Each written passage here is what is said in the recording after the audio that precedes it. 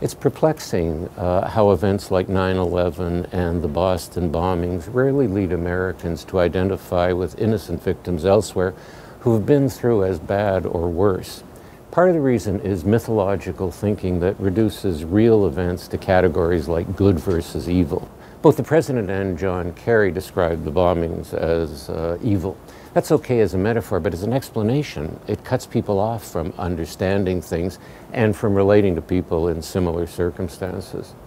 Uh, we may not know exactly what led to those acts, but that doesn't mean the devil made them do it. Most of us can imagine reaching a point of unbearable rage and violence, even if we didn't actually go there.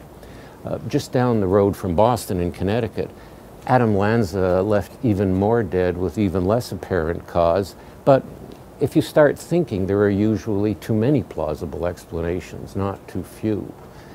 So I don't think the sole reason for examining these horrors thoughtfully is uh, to prevent further versions.